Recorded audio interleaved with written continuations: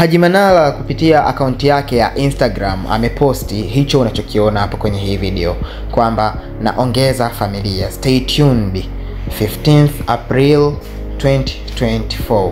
Uh, Haji Manara uh, ameposti hiyo picha ambayo ikionyeshwa nyuma ya yeye, namaanisha kwenye background kuna picha za wanawake wawili. Sasa maneno aliyoyaandika ndiyo ambayo yamefumbua macho zaidi kwamba kitu gani ambacho amemaanisha akisema naongeza familia. Wengi wetu tumemtambua Haji Manara kwamba ni jamaa ambaye hawezi akaishi na mke mmoja. So baada ya kuachana na Rubina na yule mwingine Rushaina, sasa yupo na Zelisa, lakini uh, si hivyo tu, inaonekana kwamba anataka aongeze chombo kingine. Huyu ni mzee wa Totos.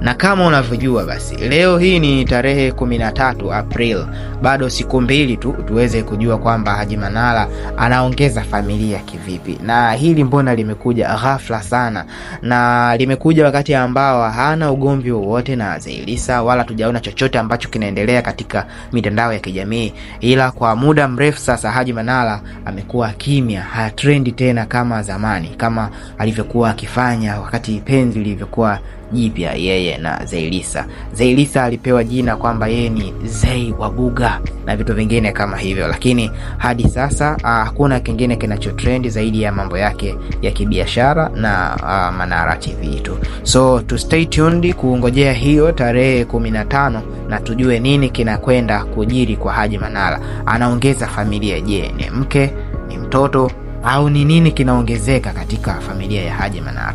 Lakini uki kama unaangalia vizuri na kuitafsiri hiyo picha ambayo amepost kwenye mtandao wake wa Instagram, utakuja kugundua kwamba kwenye background kuna picha uh, kuna vivuli vya wanawake wawili ambao wamekaa nyuma ya Haji Manara. So kwa haraka haraka kabisa tunaweza tukasema kwamba Haji Manara anataka kuongeza mke wa pili, na hata katika maneno ambayo ameyatumia kwenye hiyo posti amesema kwamba hajazoea au hatujazoea kumuona katika hali hii aliyonayo ya kukaa na na mke mmoja. So kinachoendelea kwamba Haji Manara yuko mbioni kuongeza mke mwingine, na ndo anaongeza hivyo familia, anaitanua familia.